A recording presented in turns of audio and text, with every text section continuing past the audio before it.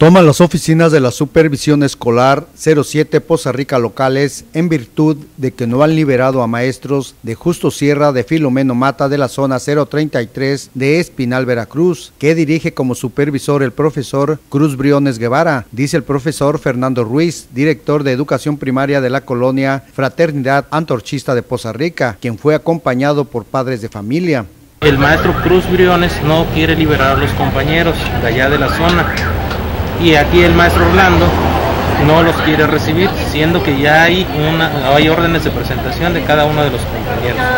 O sea, aquí la situación es de que están pasando por alto los supervisores las órdenes de presentación emitidas por la autoridad superior, en este caso de la contadora Beda Ocampo López, jefa de recursos humanos allá en Jalapa. Entonces sí urgen los maestros y mientras hay un conflicto de autoridades con los supervisores, los únicos afectados son los alumnos. Por eso los padres de familia están el día de hoy exigiendo a la autoridad inmediata, que es este, el profesor Orlando Bramarde, supervisor de aquí de Poza Rica, que les dé el pase correspondiente.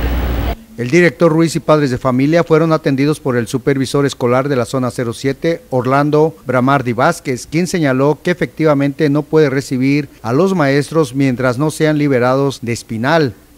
Lo que pasa que estos maestros vienen de, este, de otra zona escolar, entonces para que nosotros les podamos dar posesión a la escuela donde van como reforzamiento, este, necesitamos que ellos estén liberados por su supervisor escolar, por su director y supervisor escolar.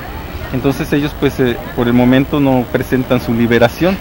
Yo para que los pueda recibir tengo que tener esas liberaciones.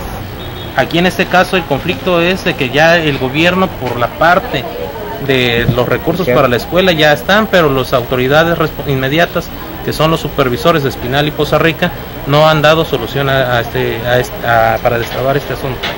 Para el Mundo TV, Jorge Hernández.